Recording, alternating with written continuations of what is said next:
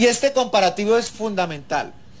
Sí, por supuesto hay que compararnos con los anteriores mandatos, pero también hay que compararnos con otras ciudades de Colombia en el cómo estamos a nivel nacional. Y es allí donde refleja nuestra ciudad de Ibagué como la octava ciudad más segura. Estábamos en el top 6 de las ciudades más seguras, hoy estamos en el top 8 de las ciudades más seguras de Colombia. La ciudad con menor índice de delitos es la ciudad de Manizales. Voy a hablar en positivo para que mis compañeros de las demás capitales no se vayan a molestar.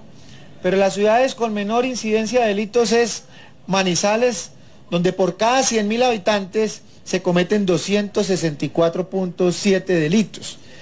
Y nuestra ciudad, 731 delitos por cada 100.000 habitantes.